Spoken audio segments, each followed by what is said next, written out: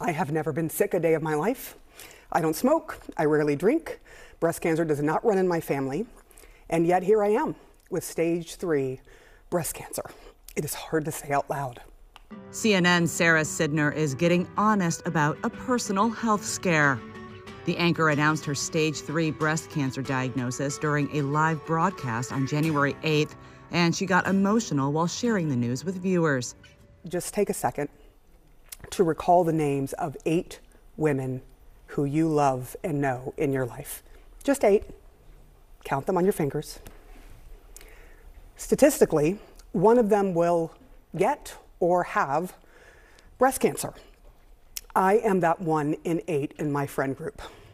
Though Sara noted that the illness is not a death sentence and confirmed she is undergoing treatment and has plans for radiation and a double mastectomy, she did tear up when sharing what has caught her most off guard during her journey and why she is urging other women to be proactive when it comes to their own preventive measures. Here is the reality that really shocked my system when I started to research more about breast cancer, something I never knew before this diagnosis.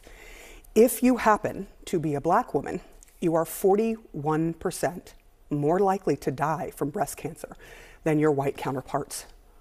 41%.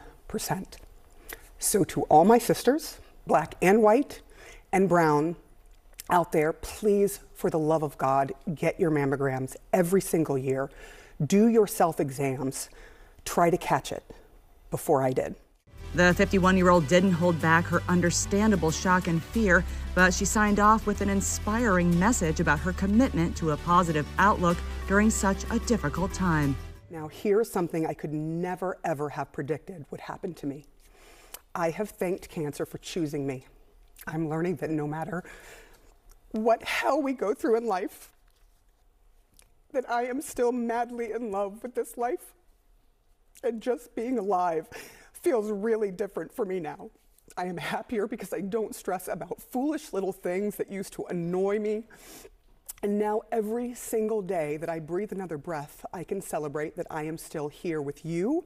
I am here with my co anchors, my colleagues, my family, and I can love and cry and laugh and hope. And that, my dear friends, is enough.